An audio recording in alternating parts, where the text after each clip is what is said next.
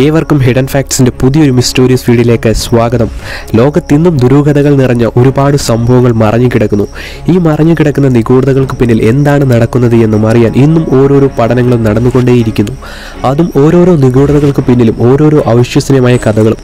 അതിൽ ഏലിയൻ മുതൽ പ്രേതഭൂത വിശ്വാസികൾ വരെയും അങ്ങനെയുള്ള വളരെ മിസ്റ്റോറിയസ് ആയ പത്ത് പ്രദേശങ്ങളെയാണ് ഇന്നത്തെ ഈ ഒരു മിസ്റ്റോറിയസ് വീഡിയോയിലൂടെ നിങ്ങൾ കാണുവാൻ പോകുന്നത്. സോ വീഡിയോയിലേക്ക് പോകാം.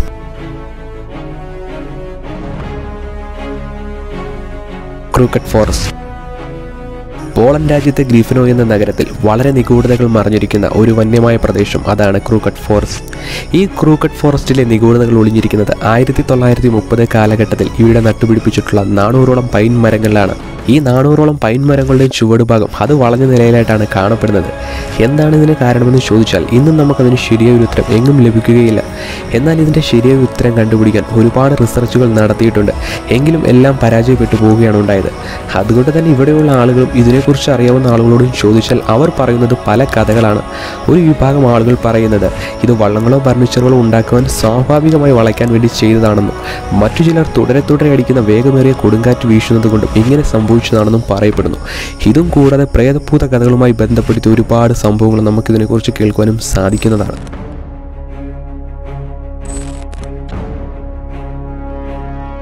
എറ്റേണൽ ഫ്ലെയിം ഫാൾസ് അമേരിക്കയിലെ ചേസ്റ്റൺ റിച്ച് പാർക്കിൽ സ്ഥിതി ചെയ്യുന്ന ഒരു നിഗൂഢമായ വെള്ളച്ചാട്ടം. അതാണ് എറ്റേണൽ ഫ്ലെയിം ഫാൾസ് ഇതൊരു സാധാരണ പ്രദേശമാണെങ്കിലും ഈ വെള്ളച്ചാട്ടത്തിൽ നമ്മൾ ഏവരെയും ആശ്ചര്യപ്പെടുത്തുന്ന ഒരു നിഗൂഢമായ തീജാല കത്തിയിരിക്കുന്നത് നമ്മൾ ഏവർക്കും കാണുവാൻ സാധിക്കുന്നതാണ്. അതും ഒരിക്കൽ പോലും അണയാത്ത ഒരു കെടാദീപം കത്തിയിരിക്കുന്ന ഈ തീജാല നമ്മൾ ഏവരെയും ആശ്ചര്യപ്പെടുത്തുന്ന ഒരു നിഗൂഢത തന്നെയാണ്. എന്നാൽ ഇതിനെക്കുറിച്ച് അവിടെയുള്ള ആളുകൾ പറയുന്നത് ഇതിനെ ഒരു കാരണവശാൽ നിങ്ങൾ ഒരു സാധാരണ തീജാലയായി കാണരുത് എന്നാണ്. ഇത് ഭൂമിയുടെ ഐസിനെ നിലനിർത്തുന്ന ഒരു ദീപമാണെന്നുമാണ് അവർ വിശ്വസിക്കുന്നത്. എന്നാൽ ഇതിനെക്കുറിച്ച് ഗവേഷകർ പറയുന്നത് ഈ വെള്ളച്ചാട്ടത്തിൽ സ്ഥിതി ചെയ്യുന്ന ഗുഹയ്ക്കുള്ളിൽ നിന്നും വമിക്കുന്ന നാച്ചുറൽ ഗ്യാസിന്റെ ഫലമായിട്ടാണ് എന്നാണ്. എന്നാൽ എന്തുകൊണ്ടാണ് മറ്റുള്ള നാച്ചുറൽ ഗ്യാസ് ഉപമിക്കുന്ന സ്ഥലത്ത് ഇങ്ങനെ തീജ്വാല കാണപ്പെടാത്തത് എന്ന് ചോദിച്ചാൽ ഇവിടെ പ്രോപ്പേന്റെയും മിഗതേന്റെ അളവും അതിൽ മിഗതേന്റെ വലിയൊരു ഭാഗം അടങ്ങിയിരിക്കുന്നത് കൊണ്ടാണെന്നും പറയപ്പെടുന്നു.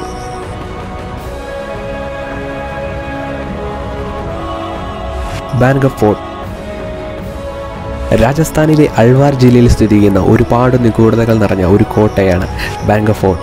ഈ കോട്ടയ്ക്കുള്ളിൽ സൂര്യോദയത്തിന് മുൻപും സൂര്യാസ്തമയത്തിന് ശേഷം ആർക്കും പ്രവേശനാനുമതി ലഭിക്കുകയില്ല. അതിന് കാരണം ഈ കോട്ടയ്ക്കുള്ളിലെ പ്രേതബാധ തന്നെയാണ്.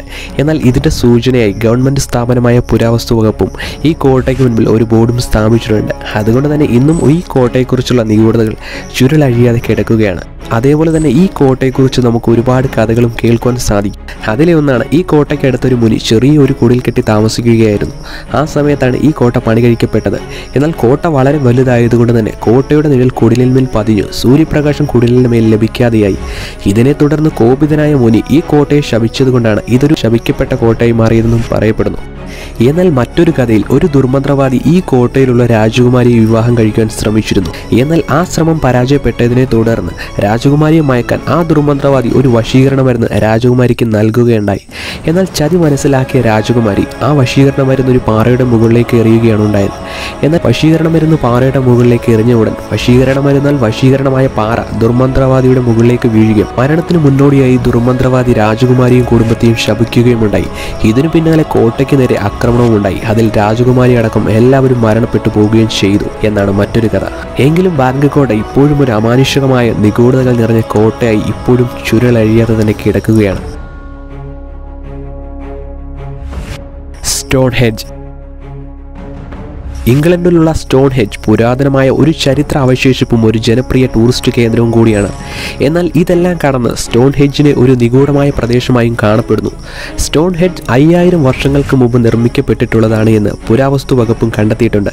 എന്നാൽ ഇത് എന്തിനു വേണ്ടിയിട്ടാണ് നിർമ്മിച്ചത് എന്നും ആരാണിത് നിർമ്മിച്ചത് എന്നും ഇന്നും തെളിവുകൾ നമുക്ക് ലഭിച്ചിട്ടേയില്ല.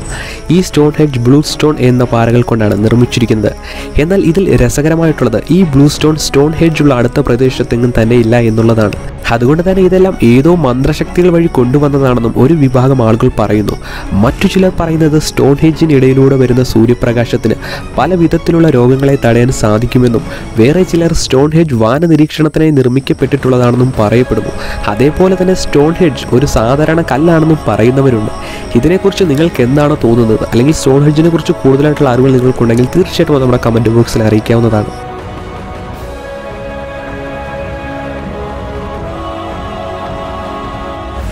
Easter island.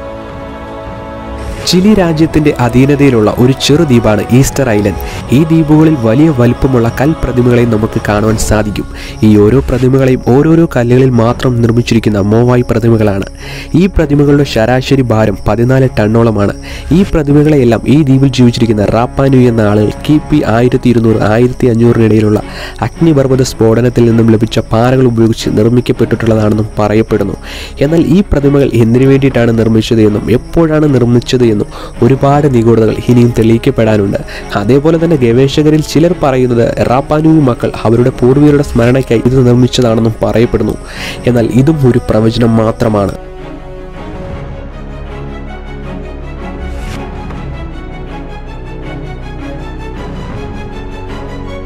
Bermuda Triangle Atlantic കരിങ്കടലുള്ള ബെർമൂഡ പോർട്ടോറിക്ക ഫ്ലോറിഡ എന്നീ മൂന്ന് പ്രദേശങ്ങളും മൂന്ന് പോയിന്റുകളിൽ ചേർന്ന് കിടക്കുന്ന പ്രദേശമാണ് ബെർമൂഡ ട്രയാങ്കിൾ. ബെർമൂഡ കടലിലൂടെ സഞ്ചരിക്കുന്ന കപ്പലുകളും വിമാനങ്ങളും നിഗൂഢ സാഹചര്യത്തിൽ അപ്രതീക്ഷിതമായി പോകുന്നു. അല്ലെങ്കിൽ നിഗൂഢ സാഹചര്യങ്ങളിൽ കപ്പലുകളും വിമാനങ്ങളും അപകടങ്ങളിൽ പെട്ടുപോകുന്നു. അതുകൊണ്ട് തന്നെ ഈ സംഭവങ്ങളുടെ തുടക്കം എന്നാരംഭിച്ചു എന്നും ആർക്കും ഇന്നേ വരെ കണ്ടെത്താനായിട്ടില്ല. എന്നാൽ ആയിരത്തി നാനൂറ്റി തൊണ്ണൂറ്റി രണ്ടിലാണ് ഈ സ്ഥലത്തെക്കുറിച്ചുള്ള നിഗൂഢതകൾ ആദ്യമായി പുറം ലോകം അറിയുന്നത്. അപ്പോൾ മുതൽ ഇപ്പോൾ വരെയും ഈ കടൽ പ്രദേശത്ത് ഒരുപാട് നിഗൂഢ സംഭവങ്ങൾ നടന്നുകൊണ്ടേയിരിക്കുന്നു. ഈ ഒരു സംഭവങ്ങൾക്കും ശരിയായ ഒരു ശാസ്ത്രീയ വിശദീകരണം ഇന്നേ വരെ കണ്ടെത്താൻ കഴിഞ്ഞിട്ടില്ല. എന്നാൽ ഒരുപാട് ആളുകൾ പറയുന്നത് ഈ നിഗൂഢതകൾക്ക് പിന്നിൽ ഏലിയൻ ആണെന്നും മറ്റൊരു വിഭാഗം ആളുകൾ പറയുന്നത് ആ കടൽ പ്രദേശത്ത് കാന്തിക ശക്തികൾ വളരെയധികം കൂടുതലാണെന്നും അതുകൊണ്ടാണ് ഇങ്ങനെ സംഭവിക്കുന്നത് എന്നുമാണ് അവർ പറയപ്പെടുന്നത്. എന്നാൽ ഇതിനും യാതൊരു തെളിവുകളും ഇന്നേ വരെ കണ്ടെത്താൻ കഴിഞ്ഞിട്ടില്ല. അതുകൊണ്ട് തന്നെ ബെർമൂഡ ട്രയാങ്കിളിന്റെ നിഗൂഢതകൾ ഇന്നും ഏവരെയും ഭയപ്പെടുത്തുന്ന ഒരു നിഗൂഢതയും മറഞ്ഞു കിടക്കുകയാണ്.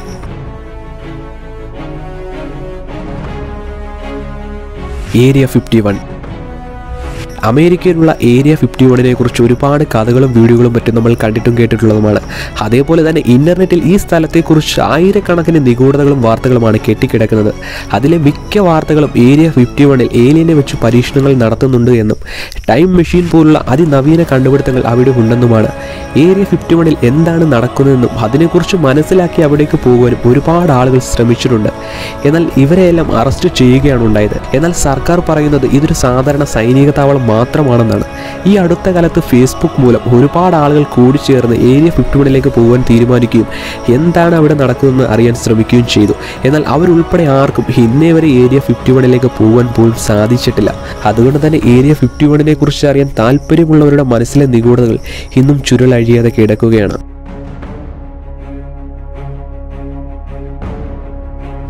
ഹൈഗറ്റ് സെമിട്രി നിഗൂഢതകൾ ഒളിഞ്ഞു കിടക്കുന്ന കല്ലറകളെക്കുറിച്ച് പറയുകയാണെങ്കിൽ ഒന്നല്ല ഒരുപാട് കല്ലറകളെക്കുറിച്ച് നമുക്ക് പറയേണ്ടതായി വരും. എന്നാൽ അതിൽ നിഗൂഢമായ ഒരു കല്ലറയാണ് ഇംഗ്ലണ്ടിലുള്ള ഹൈഗേറ്റ് സെമിട്രി. ഈ ശ്മശാനത്തിൽ പലതരത്തിലുള്ള ചെടികളും കാടുകളും എല്ലാം തഴച്ചു വളർന്ന് അത് കാണുന്നവരുടെ മനസ്സിൽ ഭീതി ഉണർത്തുന്ന തരത്തിലാണ് ഇവിടമുള്ളത് അതുമാത്രമല്ല പകൽ സമയങ്ങളിൽ കൂടി നിങ്ങൾ ഈ സ്ഥലത്തുകൂടി സഞ്ചരിക്കുകയാണെങ്കിൽ തീർച്ചയായിട്ടും നിങ്ങൾക്ക് നിങ്ങളുടെ ശരീരത്തിൽ ഉണ്ടാകുന്ന മാറ്റങ്ങളെക്കുറിച്ച് അറിയാൻ സാധിക്കുമെന്നാണ് ഇവിടെയുള്ള ആളുകൾ പറയുന്നത്. എന്നാൽ ഇതിനെക്കുറിച്ച് കേട്ടറിഞ്ഞ ഗവേഷകർ കുറേ പേർ അവിടെ പോയി താമസിക്കുകയുണ്ടായി. അതിനുശേഷം അവർ പറയുന്നത് ശരിക്കും ഏവരെയും ഭയപ്പെടുത്തുന്ന തരത്തിലായിരുന്നു. അതായത് ഇവിടെ ദുരാത്മാക്കളും രക്തരക്ഷസുകളും ഉണ്ടെന്നായിരുന്നു അവരുടെ വാദം. ഇതേ അഭിപ്രായം തന്നെയായിരുന്നു അവിടെയുള്ള നാട്ടുകാരുടേതും. ഉലുരു.